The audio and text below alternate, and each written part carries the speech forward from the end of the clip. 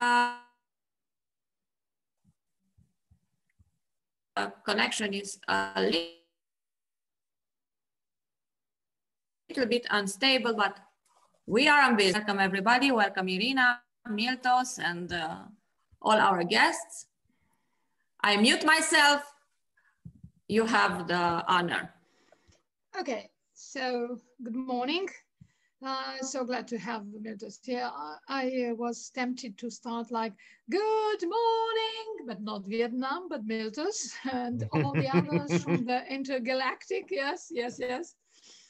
For this um, galactic imaginarium, because you have to have a lot of imagination to succeed to such a festival, especially in such a uh, complicated uh, period of time. Uh, but you know, on our planet's time, it's not the same as everywhere else. I think for us uh, cinema lovers and cinema goers, yeah, I think it's uh, something totally different. So uh, thank you so much um, for having you today with us. And um, I'm uh, um, very happy that um, we have the possibility to ask you as many questions as we can. And uh, I would start um, by asking you if you have a, at the very beginning, it was a theater or cinema, and if you used also your power of sword in the hmm. theater.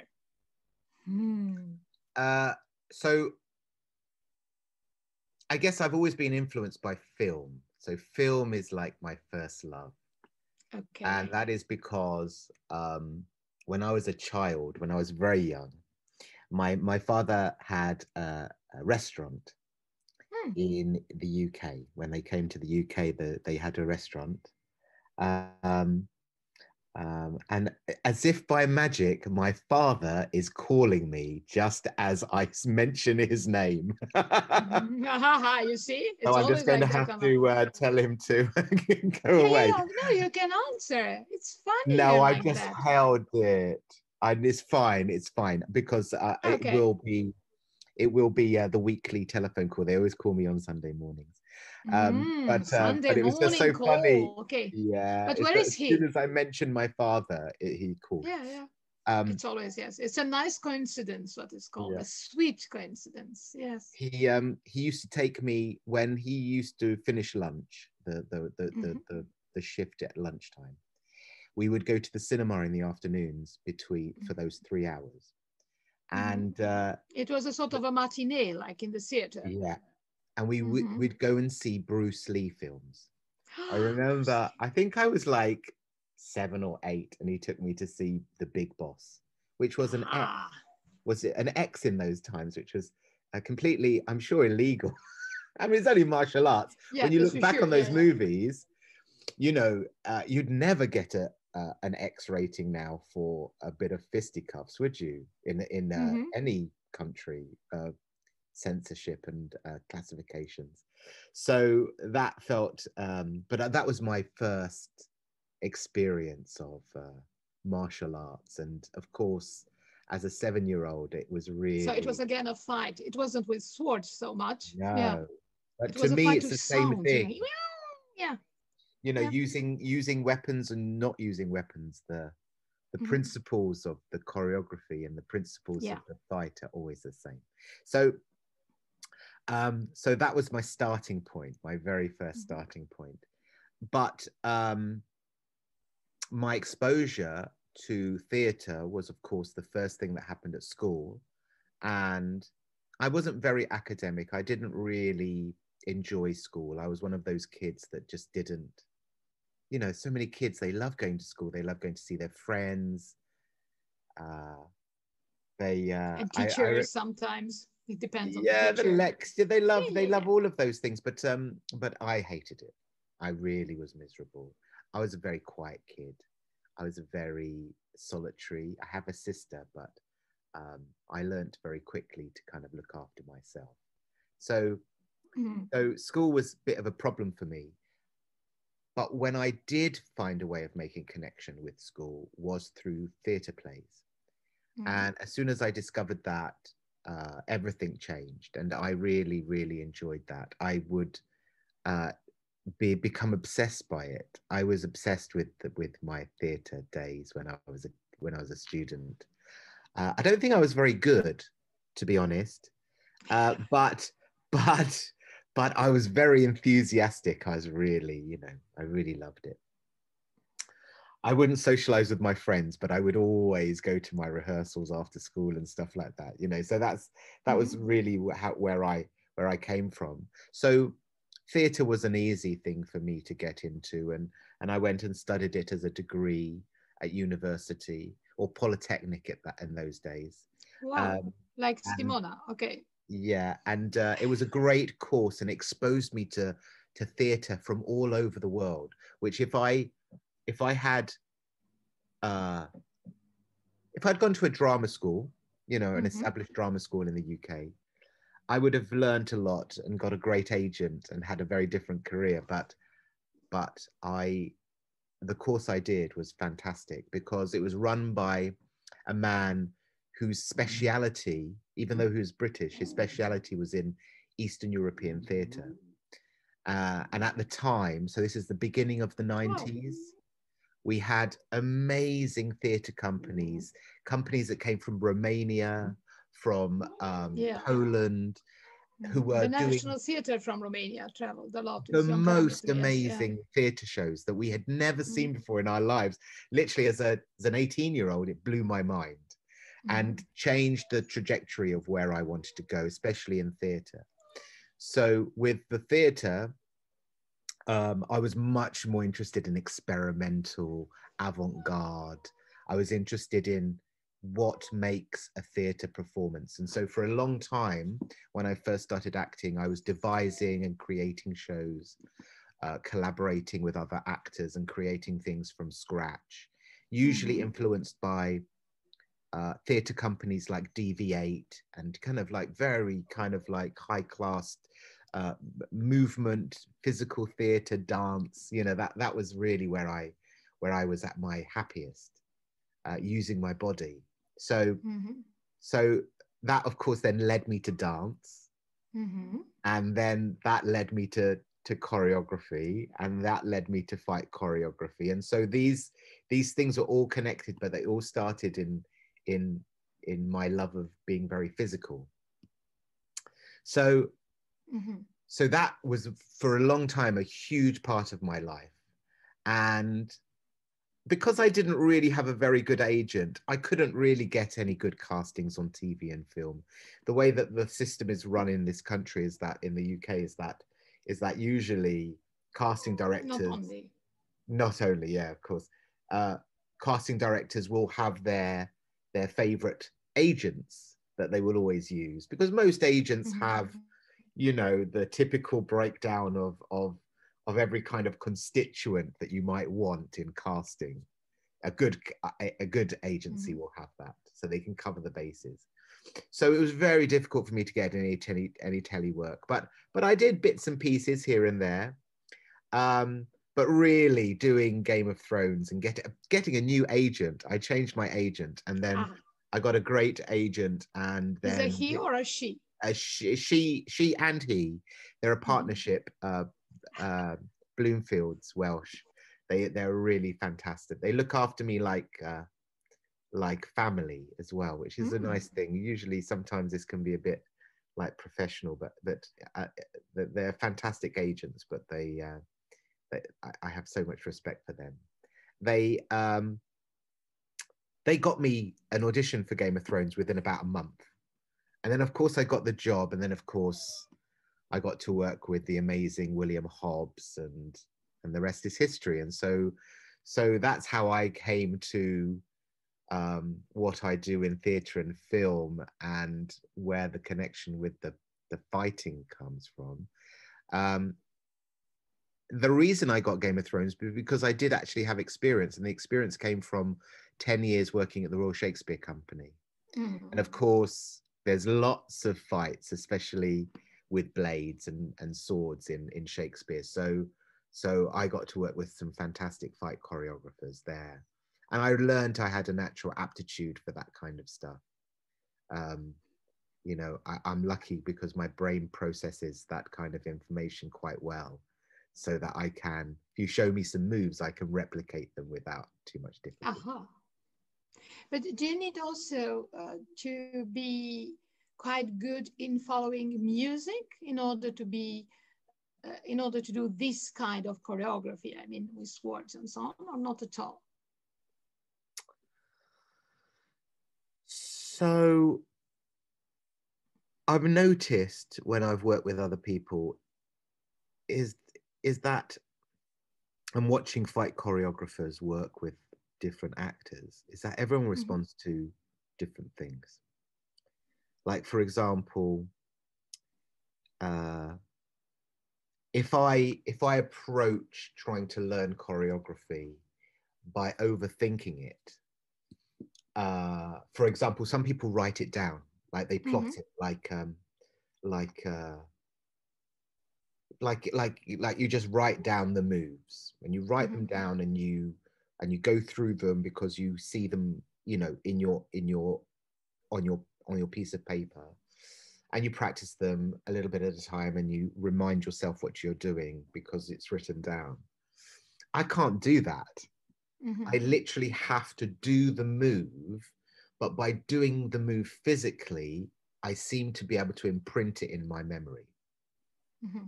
So it's just it's one it's just one of those things. I'm very bad at many other mental exercises. Very bad. Don't even don't get me no. Don't even get me started on mathematics. I'm terrible at it. But for some reason, I can visualize. I can. I think this. I don't think it's called. I don't think I have anything close to like a photographic memory, but I remember patterns because I can mm-hmm. see them. So I can watch. your blood. Maybe, but you know, yeah. I can watch. I can watch a choreographer, and I can just ingest it. Like I can mm-hmm. learn it almost immediately for some reason, and I can't explain it. But I know that other people, what they do need is they need to practice it. They need to break it down. They need to do a little bit of it, a little bit more. And I just find that uh, everyone has a different way of approaching it. For me, I just have to do it. And it's the same with acting. Um, I can go home and I can learn a script and I can practice it with another actor sitting here. And I will know all the lines. And as soon as you stand me up and then make me have to do the acting, like literally emoting, I forget everything. Mm-hmm. Forget everything. I can't do the two things. I have to rehearse and learn my lines at the same time. If I learn my lines in connection to what I'm doing emotionally and physically, for some reason it goes in much quicker. I see. So I have a, yeah. I have a question related. Question. okay, I have a question related to what you said.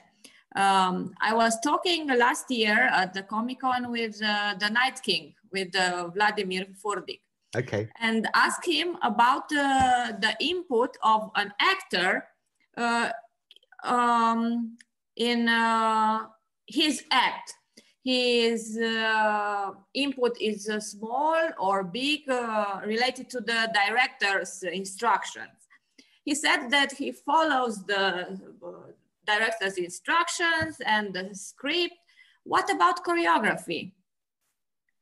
how is your relation with the director in uh, very good in so that's film? a really good question because you know I, I remember the very first day on game of thrones for me i was going to do the very first lesson the very first lesson with arya stark when she meets Syrio for the first time. And i remember that was a scene i auditioned and i had to do that five times. I, I that was the first thing i learned is a three and a half minute scene. And I had to just show that to producers and directors and casting agents, and we did it over and over again. So I knew that scene pretty well, but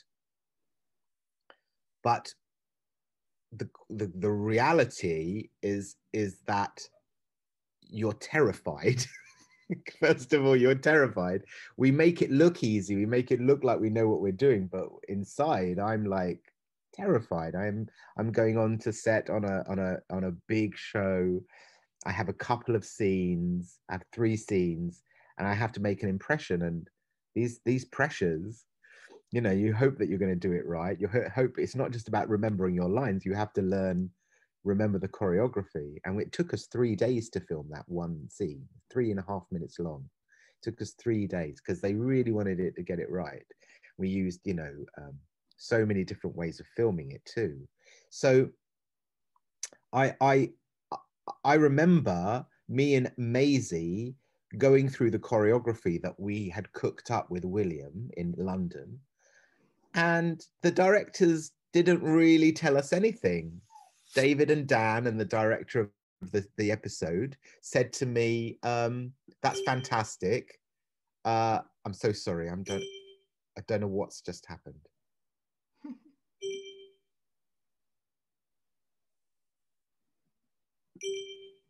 Something's happened to my I think it's your phone, isn't it?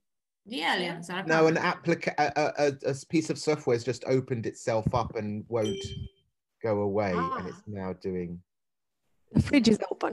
see it. Yeah, hello. Mhm. Um, so so they didn't really say anything to me. They said to me, and I asked them uh, just before I shot the scene, the very first scene. I said to them, "How do I pronounce the word Braavosi?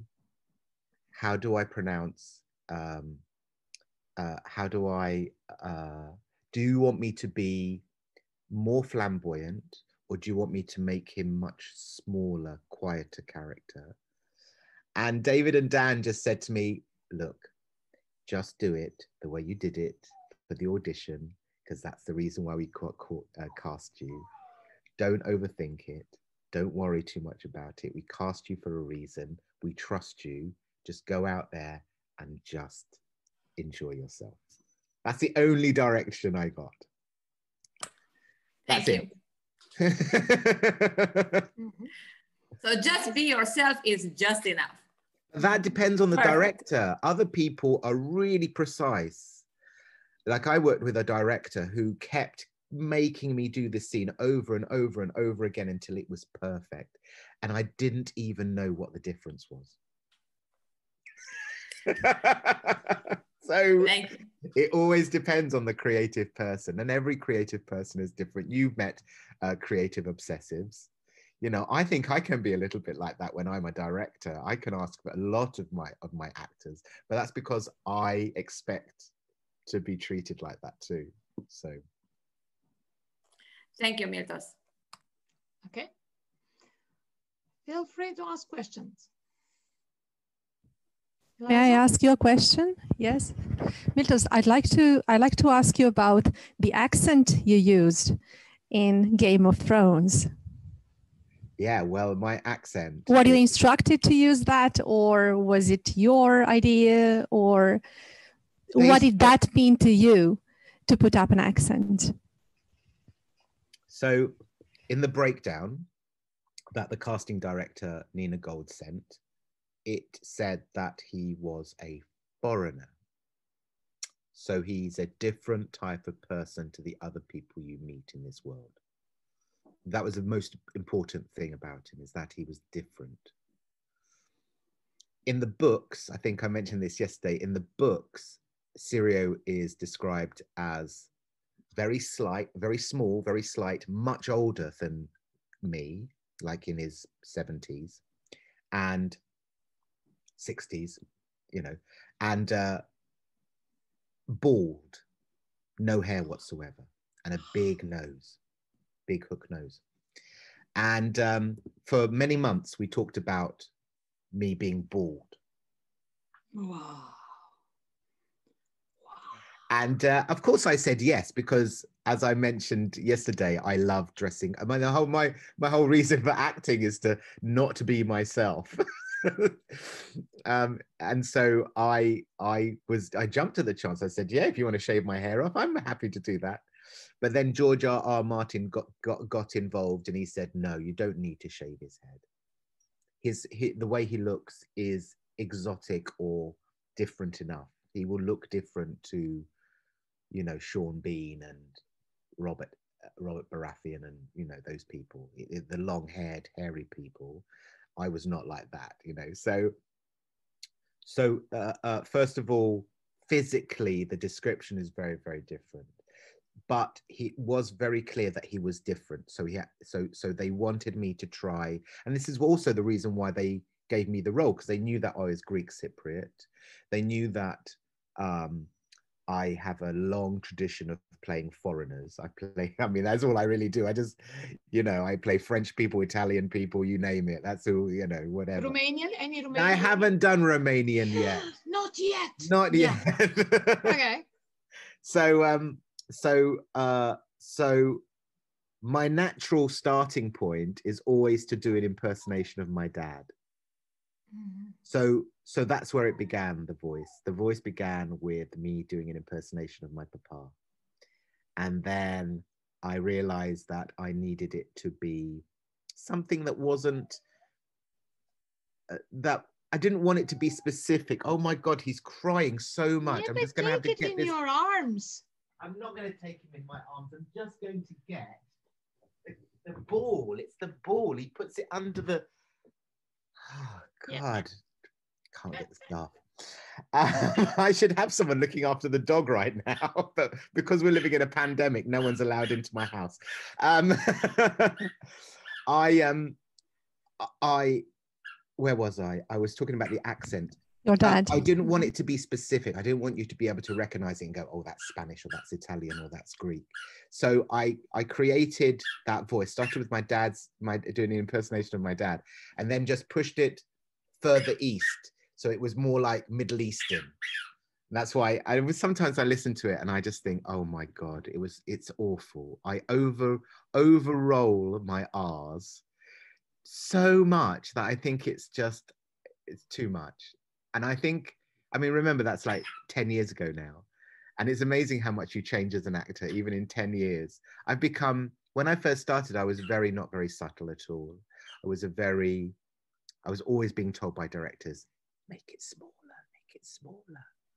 And uh, now they're telling me to make it bigger because I've just become a very different actor. I think this is what happens.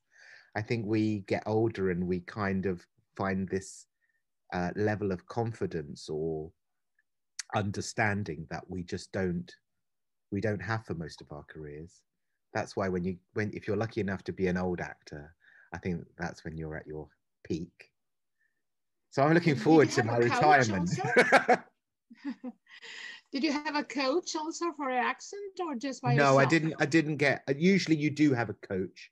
Yeah, but, I but know. they, the, yes. Yeah, usually I I always have someone to help me with my accent, but I didn't this time.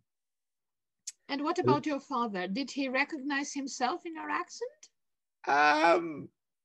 Mm. Yes, a little bit. It's hard uh -huh. to know, really my dad is the kind of person who doesn't really pay attention to things like that. I remember when I first did did the show and I and the DVD came out of the first season, and I and I bought it for my parents because they'd never seen it. You know, they, they they don't have internet or anything like that. They don't even have a TV subscription. They just watch the telly as it is, and um, they they had. Um, I gave them the DVD, and I even had to buy them a DVD player because because they didn't even have a DVD player and they never watched it. they didn't plug oh, it in.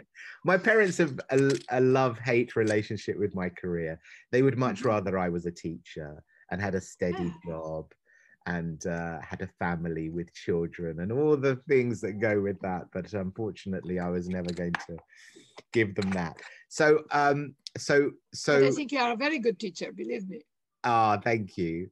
But yeah, I, but uh, they they said they they didn't watch the show until it started being screaming sc- screened uh, on on terrestrial Cypriot television. Mm-hmm. And what the the village does is that they all go outside and they sit in the in the open air cafes and they watch the football on the big TV outside. And everyone sits yeah. outside, has their coffee, and watches the football. But when Game of Thrones was on, every Sunday night they would screen the episode on the big screen. So, so my dad is sitting there watching this TV show, completely unaware that I'm in it, even though I've told him about it. And then he and everyone's like, Roger, is that your son? And I'm like, and he's like, oh my God, this is my boy. And this is, and that's literally my dad. And my dad became a celebrity overnight because of me being in a TV show. This is like three years after I told him I was in it. it takes time. Um, so you know that's that's that was it. But um, to go back to your question, um, I'm terrible at answering questions. Have you noticed that? I always go off in lots of directions. But it's um, nicer like that. Yeah. So I I I didn't have a, a coach. I just I remember when I met David and Dan and the head honcho at HBO when they all came to London to meet me. This was the final audition. This is when I really crapped myself because I realized that I was this close to getting it. Up till then, I was not, I was dismissive. I was like, I'm never going to get it. Forget it. They're going to give it to Ben Kingsley. It's fine. And, um, and then they, they, they asked me to do the scene that I told you in the first lesson in lots of different accents. I did it in British. I did it in in the accent we ended up with. I did it in kind of like a, a gruff uh, Greek accent. I did it in Spanish. Did it in Italian. They, I did it in all these different voices for them to see. And then they, eventually they just settled with the one that they said the thing that comes more naturally to you is the is the the most natural. So Any more questions? If not, I have a whole list. I have one. Miltos, have you ever lent your voice to an animated character? Um, only in the only only once on a game for uh, PlayStation official. It was the official Lord of the Rings PlayStation game. Mm -hmm um, and I got to voice uh, Gollum. So I did the voice of Gollum for the, for those, if you play those old games that came out just after the films came out, they are that when you play Gollum, that's my voice. And I lost my voice for three days after doing that. I was in a studio doing that voice and doing all the, uh, ah, you know, climbing up mountains and falling for hours and hours. So uh, that was exciting. I'd love to do more, but the trouble is in this country, if you want to be a voice actor, you have to just be a voice actor. Mm. Very hard. I mean, everyone wants to be a voiceover now because no one's got any other work to do. I just narrated uh, a book by uh, a short novella, which I can send you a link to, uh, a narrated yeah. like an audio book. I did it myself. It's a little bit ropey, but I, I recorded it in my own flat using my own software, but the writer has written this beautiful fantasy book. Uh, it's called The Tower of Mud and Straw, and it's really, really good. It's not your typical dragons and knights, but it is uh, intriguing and surprising and very poetic. It's very beautiful. Russian writer, a uh, young Russian writer. I will find a link and send it to you so you could share it because it's good. It's only just come out. They're doing it as a podcast, so they're doing it like a four-part podcast, so you can um, hear it on that. I want to ask if it's possible. Hello, hello. Hello, my hello, friend. Hello.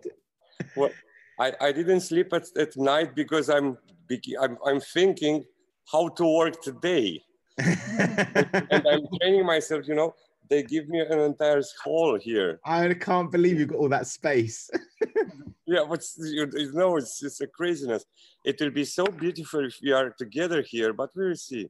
Yeah. I, I wanted to ask you how hard it was for you to learn the accents because it is, uh, as I know, in in uh, LA, I, because I have friends, some friends there, they said it is most expensive to have a dialogue teacher than an acting teacher because it is so important. Especially for LA actors now. I mean, in fact, British actors, you think about British actors, we, I mean, I think we're employed because we can do accents. I don't think you'll ever get employed as a British actor if you can't do a convincing American accent anymore. Yes. actors used to get away with it all the time, but not not anymore.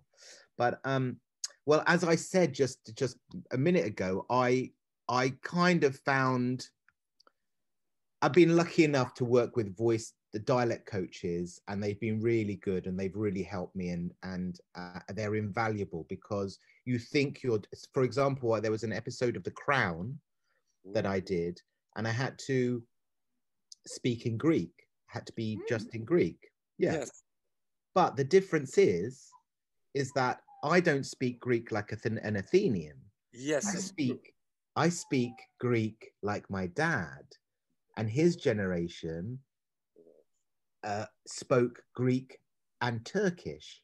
So ah. the the dialect that I learned just phonetically from my parents betrays that I my age because they look at me and they go, "How on, you sound like an old man. You speak Greek like an old man," because because when my parents, you know, living in a in a in a village in Cyprus before the war, they had, you know, they lived in a village with half of the people were Turkish. So the, the Turkish language and the Greek language used to mingle quite a lot.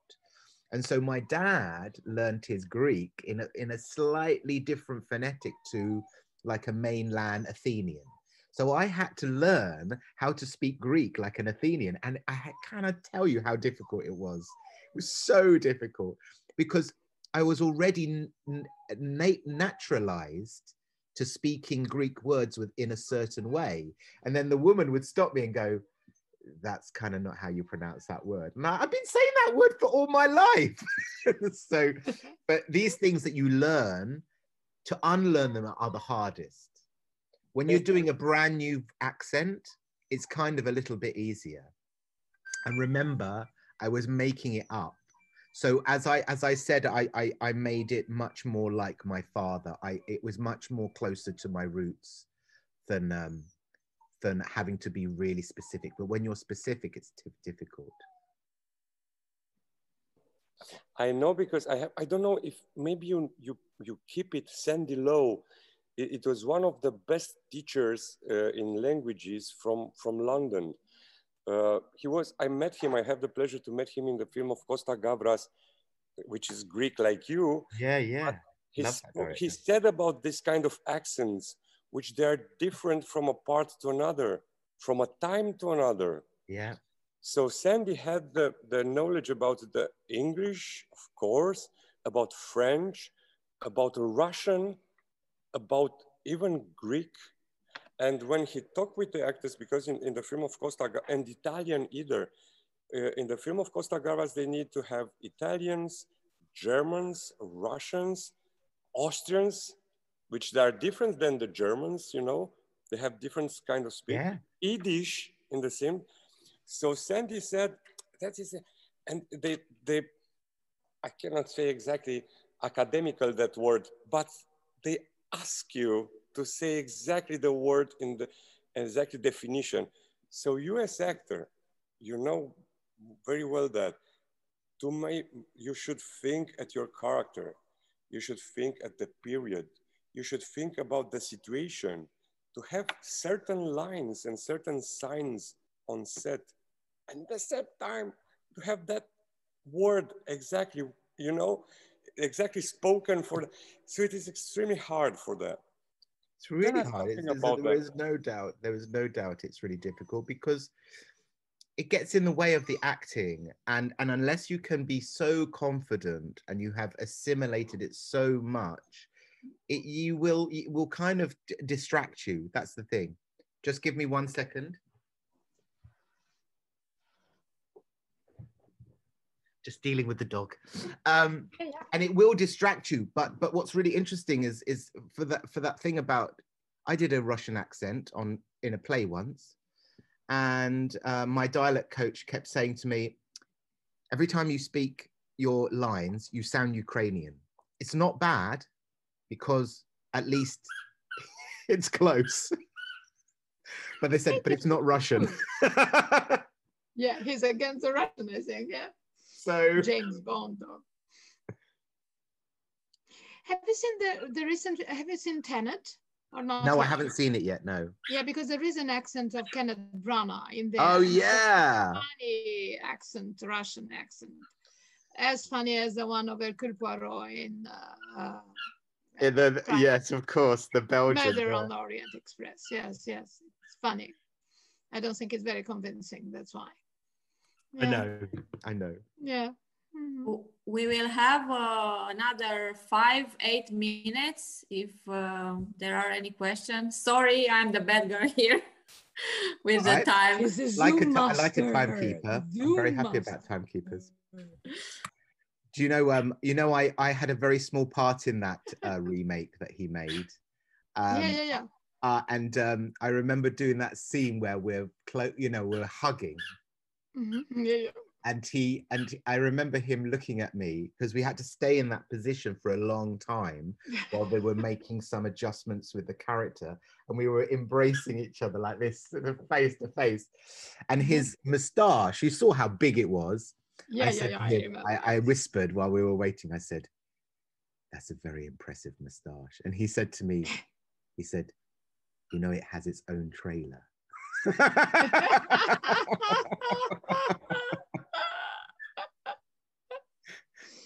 He's a very funny man, and he's a very, very talented man. I could not believe watching him on set. I could not believe him turning up, doing his acting, then going behind the camera, telling people what to do, and, and then going back. I mean, how how this man does it, I don't know. but the A Winter's Tale was in his theater or in uh, Royal Shakespeare? It was at Royal Shakespeare Theatre. Mhm. Because uh, I, I've seen it in uh, in his uh, theater in London with um, Dame Judi Dench and him. Yeah. Yes, yes, Mhm. that's right. Yeah, Yeah. It was wonderful. Also, yeah. Yeah. It's a great Any play. I like questions? it. I like I like the Whoa. first part of the play. I don't like the second part so much. Yeah. So, The ending's great, of course, when when she comes alive. It's Yeah. beautiful. We did a we did Yeah. a beautiful production of it in the um, skate in- ring was very nice. It was quite an idea. Yeah. Mhm. Maybe Louis wants to appear on our screen. So He doesn't want to appear. All he wants is his ball. If I picked him up now, he'd cry in my face. He's he's now nudging me. He's d- desperately trying to get me to get the ball. Yeah. But the I will- attention. That's the idea. So much, so naughty. Come here, come here. Come here.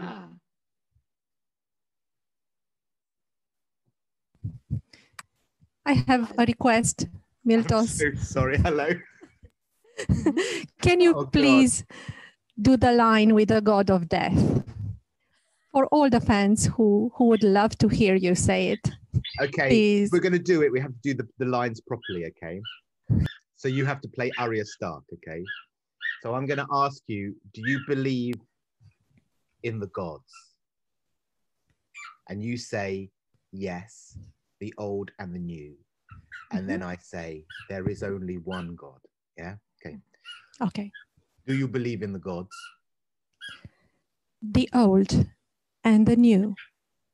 There is only one God, and his name is death.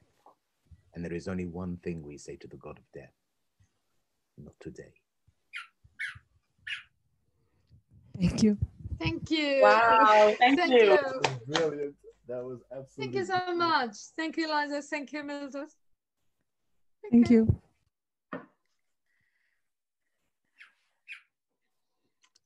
So we'll meet again. We're going to seamlessly Yes. just go into our next meeting. yes, Yes, uh, I I will stop the recording of this one and uh, Right. we can stay here at uh, 12 o'clock. We'll uh, begin our uh, sword choreography with uh, Florin Kevorkian and Miltos. So stay tuned. So I wanted to ask you a qu- oh no, stop the Yeah. recording and then. I'll ask you a question. Okay, just a moment.